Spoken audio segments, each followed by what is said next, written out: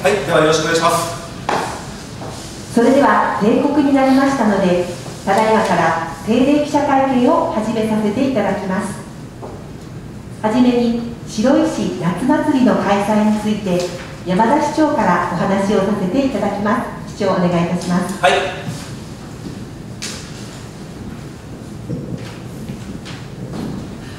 おはようございます、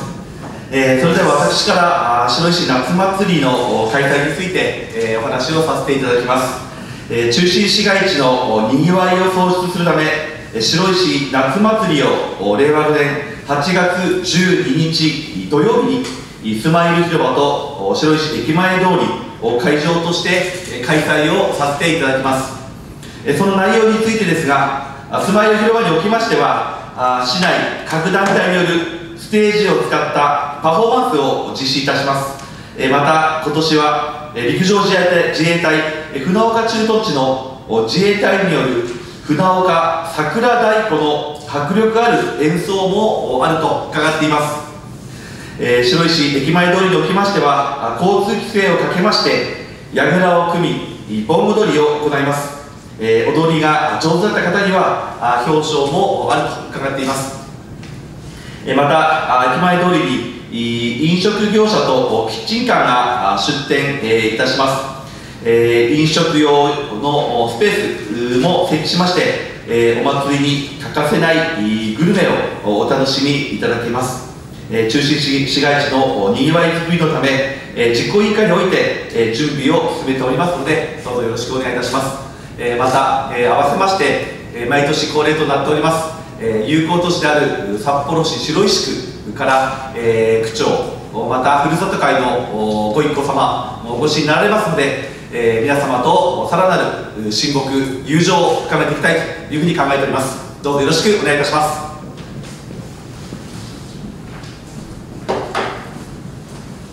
次に白石夏祭り実行委員会菊池副実行委員長よりご挨拶をいただきたいと存じます。お願いいたしますこちらで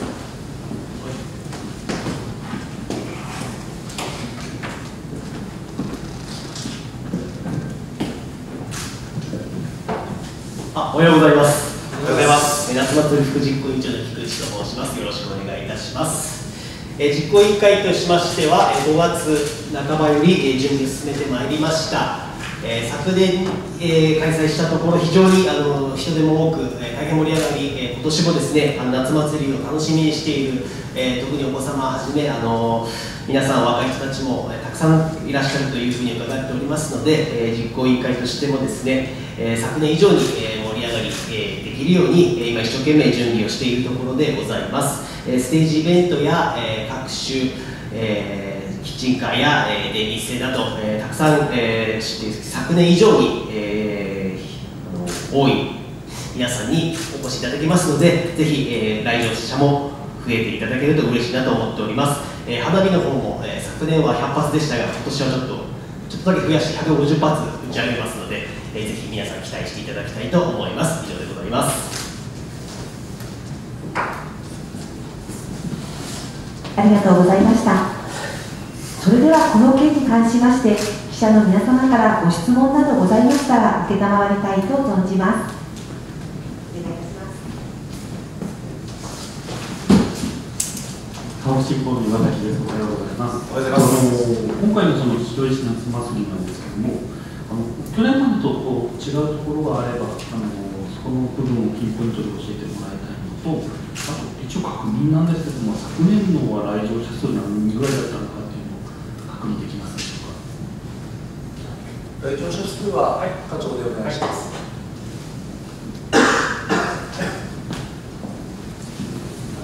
あおはようございます。商工観光高橋でございます。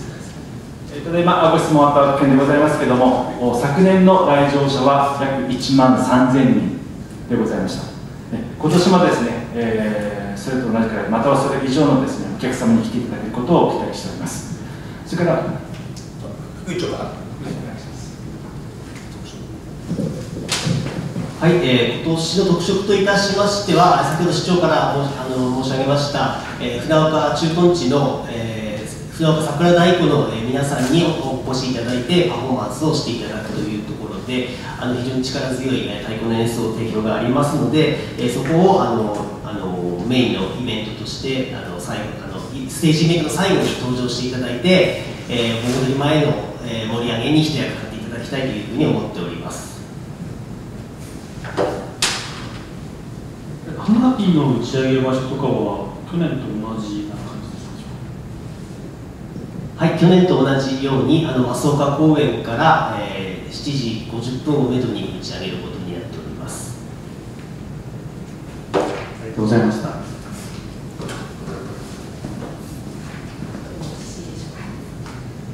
それでは質問がないようですので以上で白石夏祭りの開催についてを終わらせていただきます。ありがとうございました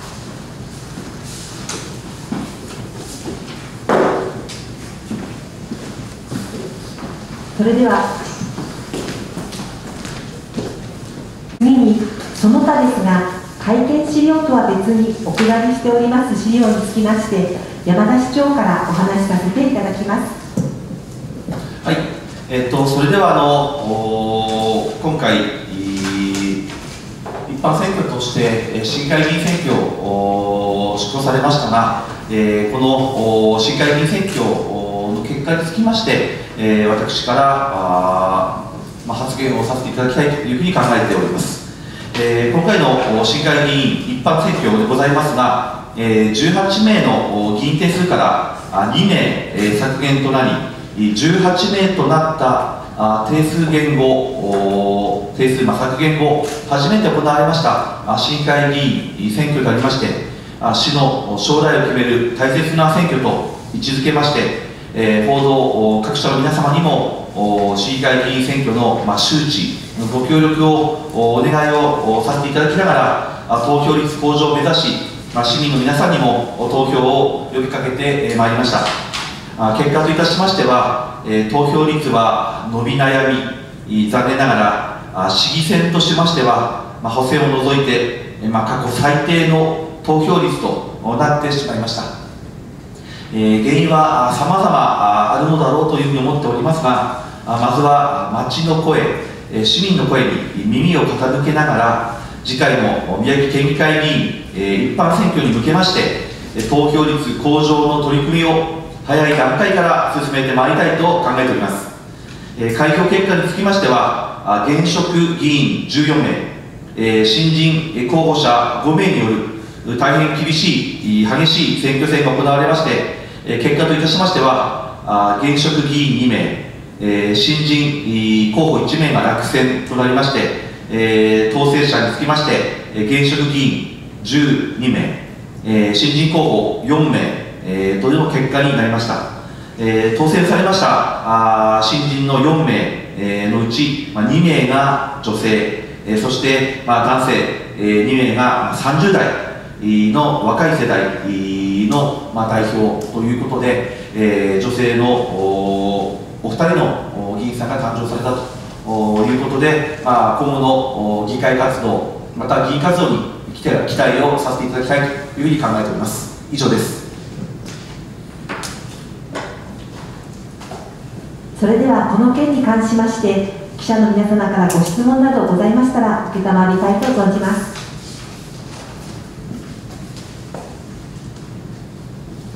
川新報ですお願いします、えーとあのー、今回のその投票率55.20ということで確保されていたわけですけども、まあ、仙台市議選も結果的には投票率下がったということであの、まあ、全般的にその各選挙のその投票率が下がっている現状についてどのようにお考えになっているのかというのが1点と、あとその工場の取り組みを進めていくということでしたけれども、具体的にはどういったものを今考えているのか、その2点お願いします。はい、えーまあ、投票率が、あのまあ、本市の選挙のみならずですね、まあ、全般的に非常にこう伸び悩んでいるという状況は、あの本当にこう有権者の皆さんが、まあ、政治に対しての、まあ、無関心というか、えーまあ、例えば争点が明確に見えてこないとかさまざ、まなあの、まあ、理由はあるんだろうというふうに思っております。またあの、まあ、気象条件まあ、こういったのも影響しているのかなというふうに思います、まあ、確かにあの期日前投票はあの、まあ、どなたでもですね、えー、しやすくはなってきておりますけれどもやはりまだまだの投票日に投票というふうに考えていらっしゃる方も、まあ、多いというお話も聞いております、まあ、そのような中、えーまあ、気象条件例えば猛暑であったりまた、あのー、悪天候であったり、まあ、そういったのも左右されるというふうに聞いておりますしやはりこう一番は、えー、有権者の皆さんが、えーまあ、自分の一票に対してのうん、まあ、責任というかですねえー、やはりこう責任を持って、えー、自分が一票を投じる。というそういったこう思いになっていただくというところが私はこれは重要なのかなというふうに思います、えー、とりわけて我々行政としてやれることはあの投票ができる有権者の方もまあ18歳からにもう引き下げられ、えー、でも結構時間が経っておりますけれども改めて主権者教育であったりまたあの早いうちからの例えば次ですと宮城県議会議員選挙が10月に行われますので、えー、10月に県議会議員選挙が行われますというそういった周知をやはりこう早め早めに、えー、市民の皆さんにお伝えをしてあ、まあ、選挙があるんだということをご理解をしていただいて、えー、そういった中で、え、今後立候補される方の、まあ、政策であったりそういったところをぜひ市民の皆さんご自身も積極的にそういったまあ情報をまあ掴んでいただくためのやはり告知そういったことが我々行政としても重要ではないかなというふうに思っております、えー、とりわけあの海外の先進国と比較しましても、まあ、我が国の投票率は全般的に低いなという認識を持っておりますので、えー、なんとか市民の皆さんの投票行動に結びつくようなさまざまな行政としての周知活動の方を丁寧に行わせていただきたいというふうに考えております。よろしくお願いします。ありがとうございます、えっと、ちょっとまた角度が変わる形になると思うんですけども今回のその市議選の結果としては、まあ、これまでのあのメンバーがかなり変わる形になって、まあ、あの市政運営の観点影響もいろいろいいのも悪いのも出てくるかと思うんですけども、えっとまあ、議会のメンツが変わって市長としてどのように受け止めているのかっていうのを、お願いいたします。はいえっと、先ほどあの申し上げました通り今回女性の新人候補が2名それからまあ30代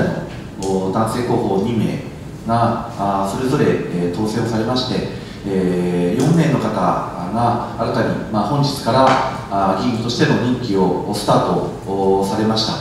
えー、今回の選挙結果を見ましてもこの新人の4名当選された4名の方は、えー、上位で皆さんあの当選をされています、えー、こういうところからあの多くの市民の皆さんが特にこの新人の方々にあの多くの期待を寄せられて、えー、いるのではないかというふうに理解をしております。えー、これまでの議会活動、また、えー、今回、まあ、異例だというふうに思いますけれども、住民の直接請求によりまして、えー、昨年、議員定数を3名、え減にしてほしいという要求を、まあ、出されるなど、まあ、非常に市民の視点、まあ、市民の目線からすると、非常に、まあ、これまでの議会、に対しての、まあ、物足りなさあというのをがあったんだろうと。そういったところからあのような、まあ、直接請求になったんだというふうに私は受け止めております、まあ、結果として議会ではこの住民の直接請求、まあ、議員定数3名減というの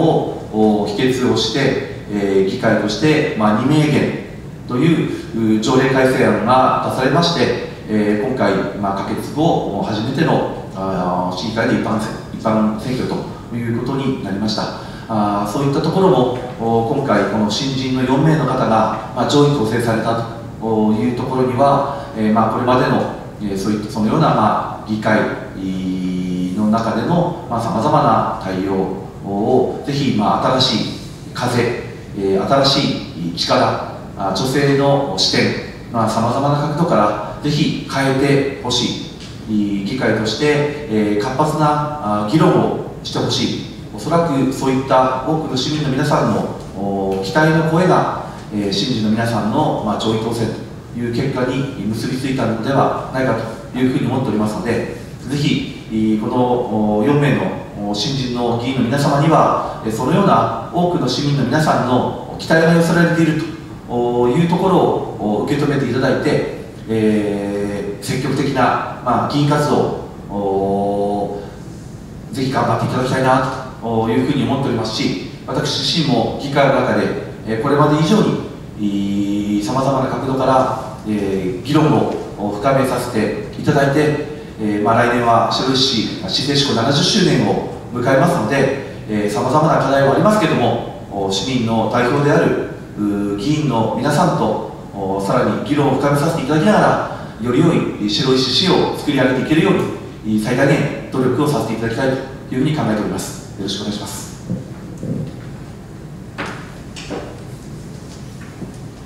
ありがとうございます。ちょっと意地悪な質問になっちゃうんですけども前回まではあの簡単病院の関係もあってかなりちょっとギスギスした感じがあったかと思うんですけどもこの新しいメンツ、まあ、メンバーも変わったということで市長としては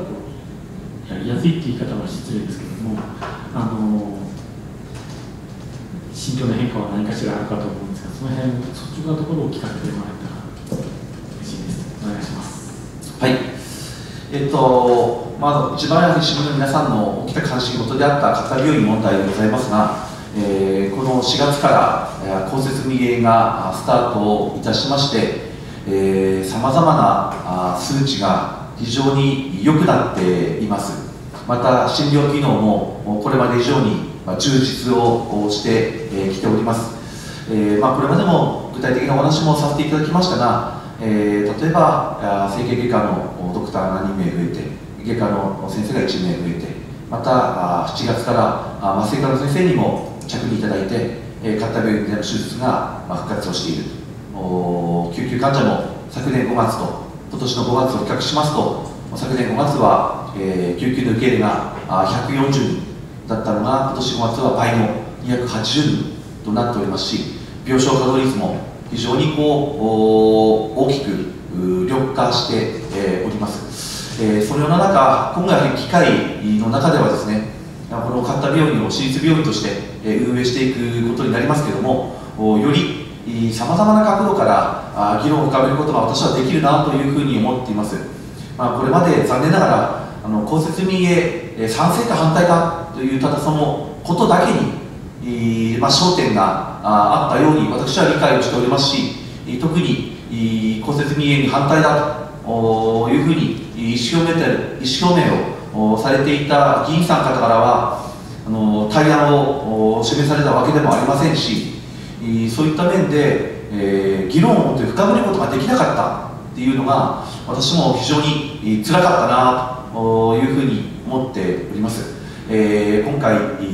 当選をされた新人の4名の皆さんは、まあ、それぞれ、えー、立場も違いますしさまざまなあの環境も違うかというふうに思いますけどもさまざまな姿勢課題がある中でですねやはりこれは市民から直接選挙で選ばれているのは、立場は一緒です、私も市長としてまた議員の皆さんも市議会議員として、え市民から直接選ばれている以上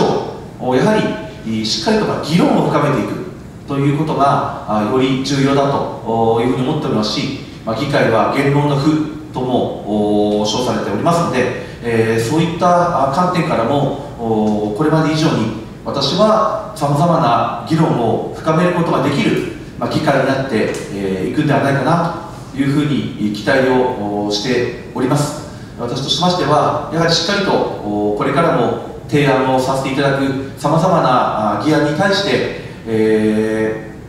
ー、まあ、厳しくもご指摘もいただく場面が多くなるかというふうに思いますし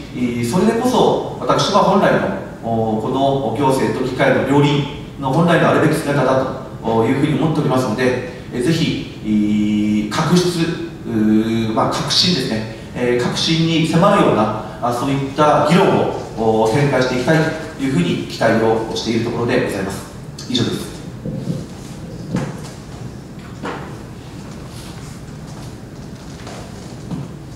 それでは質問がないようですので以上で別紙資料の説明を終わらせていただきます。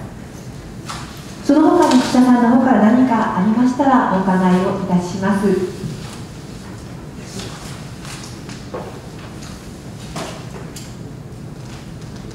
科学進歩です。えっと、あの、片桐の関係になるんですけども、あの、一応月1回ペースでやりたいと言っていた、あの病院と市とのですね、はい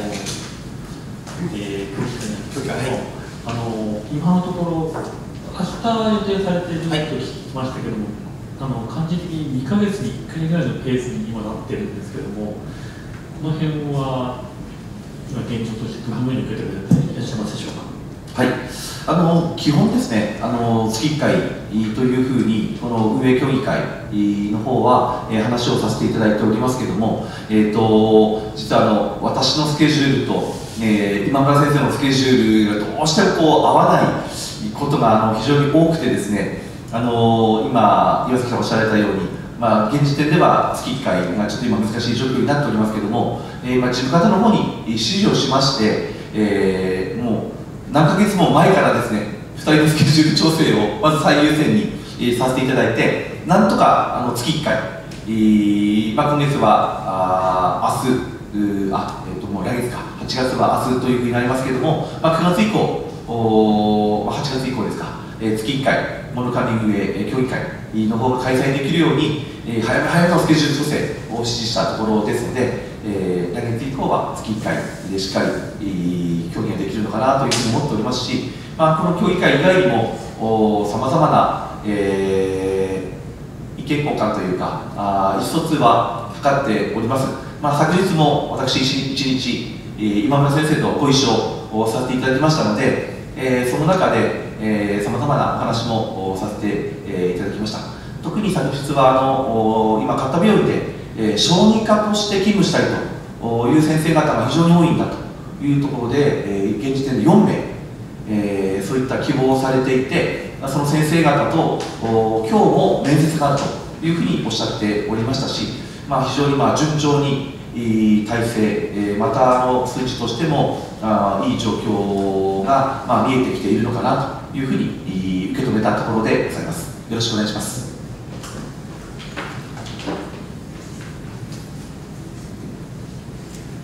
それでは以上で本日の記者会見を終了させていただきます。なお次回の開催は8月29日火曜日午前10時からを予定しております。こちらも近くなりましたら取材依頼を出させていただきます。本日はお忙しいところありがとうございました。どうもありがとうございました。